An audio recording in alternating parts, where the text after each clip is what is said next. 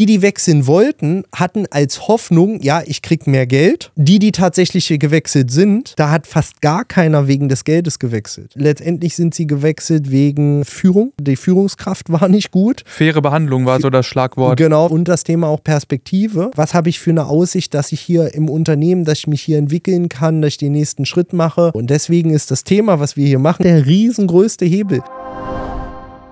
Es geht um eine Studie. Die allermeisten Chefs glauben ja, Mitarbeiter sind zufrieden, die sind happy und oft ist das ja schon eine gute Ausgangslage. Also ist ja nicht verkehrt, wenn die Mitarbeiter zufrieden sind. Mhm. Gleichzeitig ist das allerdings noch keine Garantie, dass die Mitarbeiter die Extrameile gehen, dich auch als Arbeitgeber weiterempfehlen und vor allem ganz wichtig auch nicht abgeworben werden können. Und mhm. in der Studie kam halt raus, dass 55 Prozent der Arbeitnehmer mindestens einmal pro Jahr an einen Arbeitgeberwechsel denken. Ja, und viele noch deutlich häufiger. Ne? Mhm. Wenn wir mit Unternehmern sprechen und wir fragen die so, ja, wie ist denn so das Betriebsklima bei äh, euch? Wie fühlen sich deine Mitarbeiter bei dir im Unternehmen?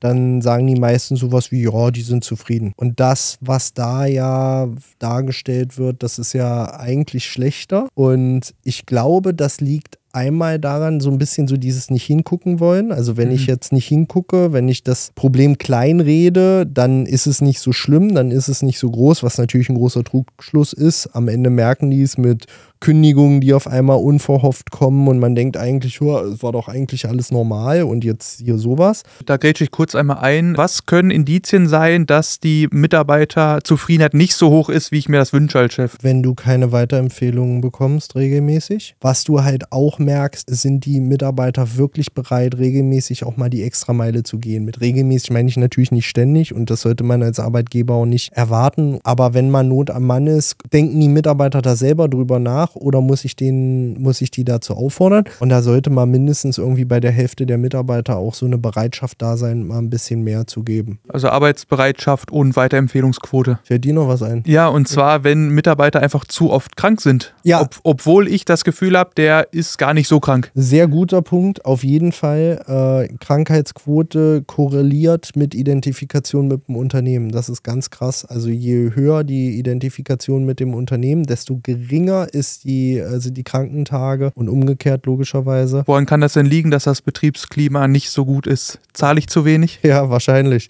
Nee, ähm, überhaupt nicht. Wenn wir unsere anonymen Mitarbeiterbefragungen machen, gibt es insgesamt elf große Faktoren. Da gehört auch Gehalt und Vergütung logischerweise vollkommen mit dazu. Ist aber überhaupt nicht der wichtigste Faktor. Ich weiß ja, von welcher Studie du vorhin gesprochen hast. Da haben wir festgestellt, dass äh, Bezahlung sogar einer der kleinsten Wechselgründe überhaupt überhaupt ist. Da hat man einmal verglichen, ähm, Leute, die wechseln wollen und mhm. hat die gefragt, warum willst du denn wechseln? Und man hat Leute gefragt, die tatsächlich auch gewechselt sind, wo man gefragt hat, warum bist du denn gewechselt? Und hier war eine Sache ganz spannend. Die, die wechseln wollten, hatten als Hoffnung, ja, ich krieg mehr Geld. Mhm. Die, die tatsächlich gewechselt sind, da hat fast gar keiner wegen des Geldes gewechselt. Das heißt, da gab es einen Unterschied zwischen, ja, na klar, äußern die sich und sagen, ja, wäre schön, wenn ich mehr verdiene und das ist so die Hoffnung, aber letztendlich tatsächlich wirklich wechseln, tun die wenigsten wegen des Geldes. Sondern? Sondern äh, letztendlich sind sie gewechselt wegen ähm, Führung. Mhm, Führungs genau. Die Führungskraft war nicht gut. Faire Behandlung war so das Schlagwort. Genau, faire Behandlung war das Schlagwort und das Thema auch Perspektive, mhm. ne, äh, Wertschätzung und so weiter.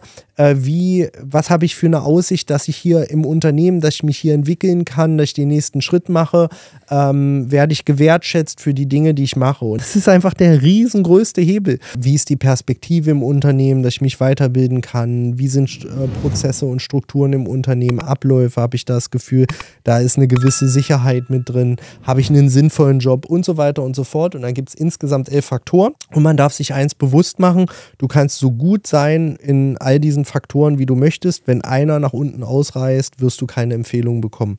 Ich gebe dir ein Beispiel, wenn du in ein Restaurant gehst und in dem Restaurant ist alles super sagen wir mal, äh, der Kellner, unfassbar freundlich, äh, macht einen richtig tollen Job. Äh, das Ambiente, richtig genial. Aber sobald du in das Essen reinbeißt, merkst du, es ist richtig gammelig und äh, das ist schon, du wirst schon krank in dem Moment, wo du dir das Essen in den Mund steckst. Dann kann der ganze Rest so toll sein, wie er will, du wirst es nicht rausreißen. Andersrum, stell dir vor, das Essen ist richtig super, aber der Kellner ist richtig patzig zu dir, dann wirst du dieses Restaurant nie im Leben weiterempfehlen. Ganz im im Gegenteil, du wirst sagen, öh, was ist denn hier los? Das Mhm. heißt, man darf immer gucken, was sind die schlimmsten Sachen gerade in meinem Unternehmen, wie kann ich diese Fehler oder diese Missstände möglichst effizient ausmerzen und dann fängt es an, weil wenn du ein Restaurant hast, wo das Ambiente richtig nice ist, wo der Service richtig nice ist, wo das Essen ganz gut ist, vielleicht nicht super gut, aber der Kellner, der macht mit dir eine Show. Äh, beste Beispiel ist hier Salt Bay, ne? Also dieser Typ hier, der mit dem, mit dem Salz das so macht. Bekannt Ähm, durch TikTok, Instagram und die ganzen Reels. Genau, durch TikTok, Instagram, irgendwelche Reels da und der ist so berühmt geworden, weil der so mit, mit Salz, dieses Salz äh, auf so einem Steak über seinen Arm prasseln lässt und dann das auf das Steak draus fällt. Und der ist sehr exzentrisch und macht immer so eine riesen Show ähm, und hat auch so Steaks mit, die sind komplett vergoldet und die kosten dann 1000 Euro mit Blattgold und so weiter. Ist jetzt ein bisschen in der Kritik, muss man auch dazu sagen, musste jetzt wieder zwei, drei Restaurants schließen, zu schnell gewachsen, keine gute Mitarbeiterführung witzigerweise, aber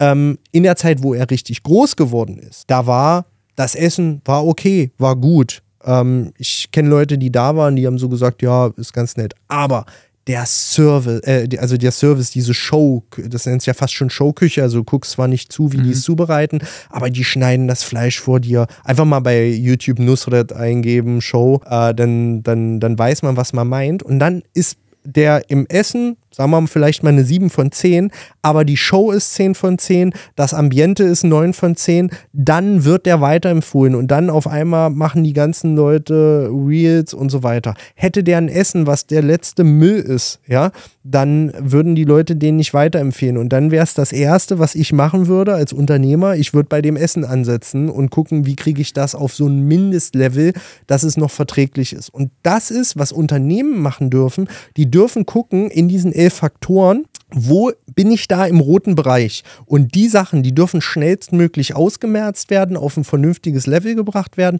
Und wenn das der Fall ist, dann fangen auch, wenn du dann in ein, zwei, drei Kategorien auch richtig gut bist, dann fangen auf einmal auch Leute an, dein Unternehmen weiter zu empfehlen. Mhm. Und jetzt mal die positive Seite dieser Veränderung. Also mal angenommen, die Mitarbeiter sind total begeistert, richtige Fans deiner Firma. Wie sieht denn dann so ein Unternehmen aus, wenn du das wirklich mal geschafft hast? Was gibt es da für Indi Indizien, dass du auf dem richtigen Weg bist? Ja, dann ist es so, du machst ein Team-Event, alle kommen. Das ist eine Sache. Eine Sache ist, dass deine Mitarbeiter dein Unternehmen aktiv weiterempfehlen. Und eine Sache, und das ist wieder das Spannende, das ist das, was wir festgestellt haben oder was diese Studie festgestellt hat. Wenn du ein guter Arbeitgeber bist, funktioniert auf einmal auch dein Recruiting. Ist ja auch logisch. Guck mal, du schaffst mit Recruiting ein paar Bewerbungen. So, jetzt informieren die sich über dich, gucken sich deine Website an. Da siehst du jetzt nicht Leute, die man fast mit einer Knarre dazu zwingen musste, dass sie auf irgendeinem Foto mal drauf sind und mal freundlich in die Kamera gucken, sondern da sind halt Leute, die haben echt Bock auf die Arbeit, die freuen sich. Das sieht man im Foto. Auf einmal denken die, oh, da möchte ich gerne hin.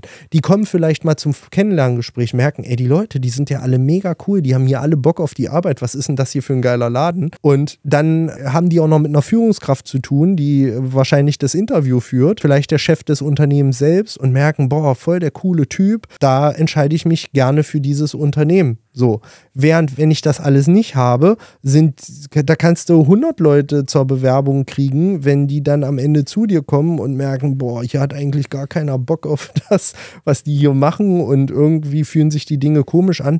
Ja, dann verlasse ich doch nicht meinen sicheren Arbeitgeber und wechsle irgendwo anders hin, sondern ja, bleibe ich da, wo ich bin. Ja, wir können festhalten, äh, Mitarbeiter, also die Qualität der Mitarbeiter entscheidet auch über die Qualität deines Unternehmens, deiner Dienstleistung, wie das Safe. alles läuft, auch gewissermaßen über dein Leben, wie zufrieden du bist als Unternehmer. Und äh, gerade in Deutschland ist es ja so, das Humankapital ist das, was uns stark gemacht hat. Ja. Wir haben keine Ressourcen, kein nicht großartig Erdöl oder andere Ressourcen, die wir abschöpfen, sondern unsere Stärke in Deutschland liegt einfach in unseren Führungskräften, in Mitarbeitern und dieses ganze Know-how, was wir haben. Ja. Und darum geht es, das zu entfalten. Und da dürfen wir aufpassen, dass wir das nicht verlieren. Ich bin auch nicht der Schwarzmaler. Ich sehe gleichzeitig auch da unfassbar große Herausforderungen. Und die Ursache aus meiner Sicht liegt in schwacher Führung. Mhm. Also von das geht, äh, es geht nicht bei der Bundesregierung los, sondern da endet es aus mhm. meiner Sicht. Es geht immer von unten los. Und äh, schwache Menschen wählen schwache Führer. Ja, und äh, schwache Führer wählen wiederum die nächsten oder unterstützen die nächsten schwachen Führer, weil wenn da jemand Starkes kommen würde, der würde wahrscheinlich sagen, ey, das geht hier so nicht, äh, mach mal was anderes. Und das wollen dann viele nicht. Das heißt, wir dürfen von unten anfangen, wieder starke, Führer, starke Führung aufzubauen und ähm, dann wird sich das auch nach oben fortsetzen. Und dann haben wir auch wieder in Deutschland eine gute Zukunft. Es fängt mit uns an. So sieht's aus. Max, das war ein gutes Schlusswort. Danke. Danke dir fürs äh, Interviewen. Und äh, dann äh, empfehle ich zu abonnieren und wir sehen uns in der nächsten Folge, oder? Ja, Bist genau. du dabei? Ja, safe. Ja, okay. also bis dann. Ciao.